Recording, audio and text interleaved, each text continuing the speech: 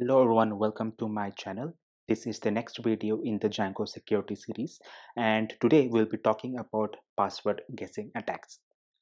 A password guessing attack is a kind of attack in which a malicious user like a hacker uses automated tools to guess different credentials consecutively with the intent to take over an account. So consider there is a login page. A hacker or a malicious user will guess different username and password and hope that one of the guesses is correct and they are able to take over the account. So this is what a password guessing attack is. There are mainly two types of uh, such attack. One is the dictionary attack and the other is called the credential stuffing attack. In a dictionary attack, the hacker uses a dictionary. Generally, it's a text file which contains a huge number of words that can be used as password for a particular account the password cracking tool. So it's going to be automated. Will pass each word in the dictionary to the application. If any word in the dictionary matches the password the malicious user will be authenticated.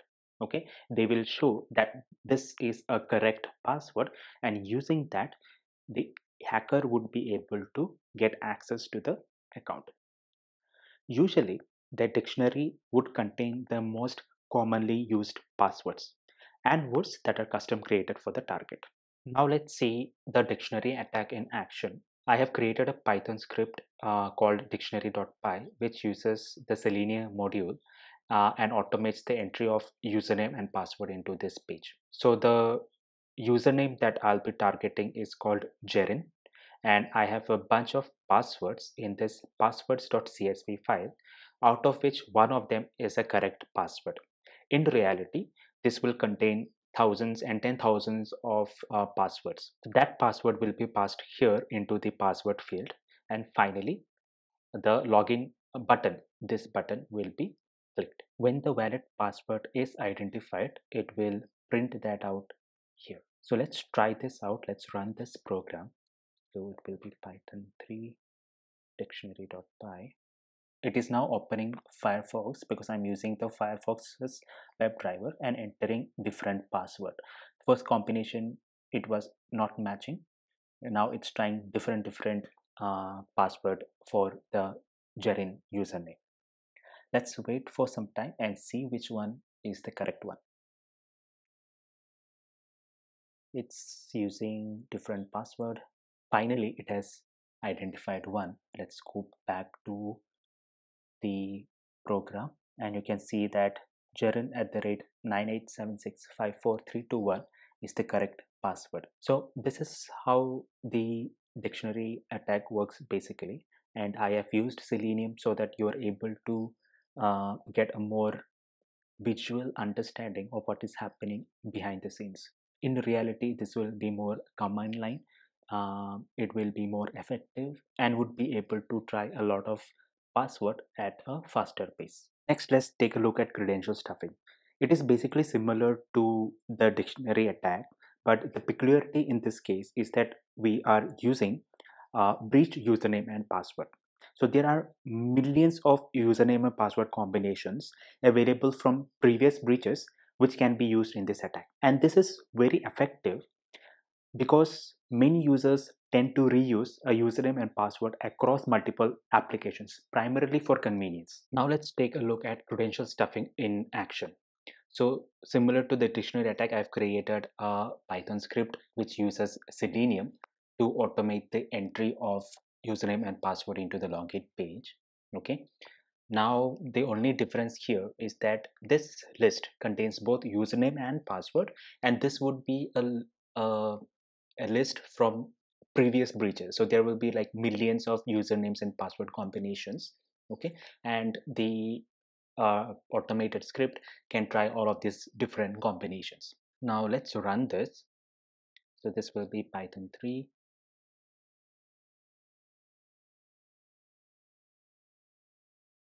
enter. Again the firefox browser will open. And you can see that it goes to the login page and it's entering different different password combinations so yeah let's see which one is correct one.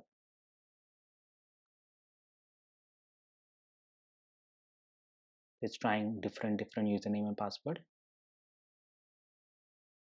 Finally, it has got one. Let's go back to the program and see which one. So it's Jarin, Jarin at the rate 9876543221, which is correct, which is the correct username and password. So this is how credential stuffing works. Obviously, in real world, this will not be the procedure. Uh, there are different tools like Sentry, MBA, and everything, which is more effective. But this is just for you to understand in a more you know visual way how it would work. Now that we know what a password guessing attack is, let's learn how to prevent them. So the most common one is to have a good password policy. The second one is to implement an account logout mechanism. And the third one is to have a multi-factor authentication. Let's look at having a good password policy.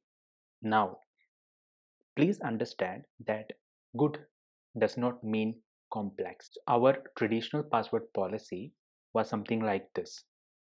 It should contain at least 8 characters, at least one lowercase character, uppercase character, number, and a special character. But just look at this admin at the rate 123, A with a capital letter.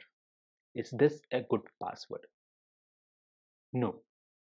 It does meet the complexity requirement, but this is not a good password. That is why it is important to know what is a good password policy. NIST has published something called SP 863B and it provides guidelines to create good passwords. The guideline says that it may contain special characters, but it is not mandatory to contain special characters. So it can contain, but it is not mandatory, which is going against our traditional password policy. Next, it should contain at least 8 characters. However, it is suggested to make the password as long as practically possible. At least 8 for sure, but we should strive to make it as long as practically possible.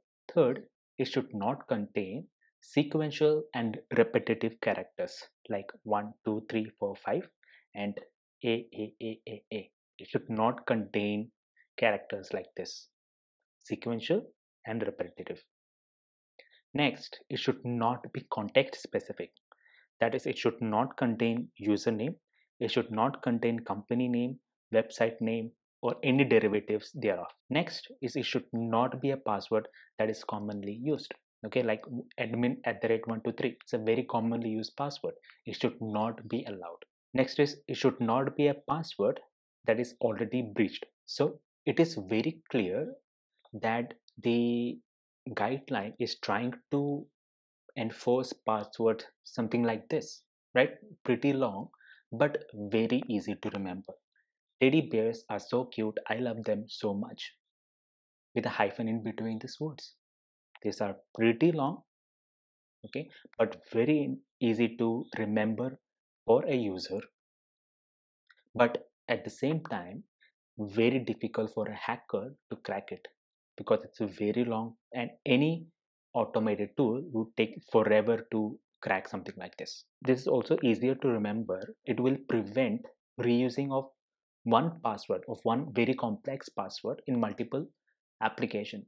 The risk there being that if the password is breached in any one of the application, then the entire other set of applications will also be breached. So this guideline prevents those kind of risks. So let's strive to make authentication systems or password systems that follows this particular guideline because it's really very good it's really very effective in preventing this kind of password guessing attacks in the current scenario the next mechanism is account lockout basically we have seen this in multiple applications mostly in cases of banking applications okay where in case of a fixed number of failed logging attempts the user will be locked out. And the user will be locked out for a defined period of time. Okay say 15 minutes. Okay so essentially after five failed login attempts you will be locked out for 15 minutes. Okay that is one example. Another thing to consider in this mechanism is how will the account be reactivated? Will it automatically get deactivated after the defined period or is a human activation or a manual activation required so that's another thing another thing that we need to consider in this mechanism. And it would depend on scenarios it would depend on applications etc for example if it's an enterprise application used within the an organization it may be more adequate to have an manual reactivation after proper verification. But if it is a public uh, application like say facebook or uh, gmail then it may automatically get reactivated after say 15 minutes 30 minutes etc next mechanism to prevent password guessing attack is multi-factor authentication.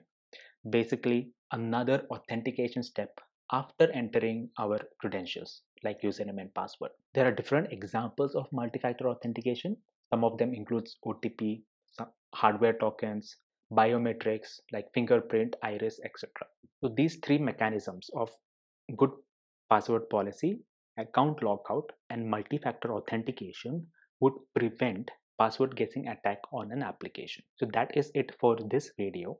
In the next three videos, we will look at how to implement the NIST password policy in a Django application, how to implement account lockout and how to implement multi-factor authentication with an OTP in the Django application. So stay tuned for those videos as well.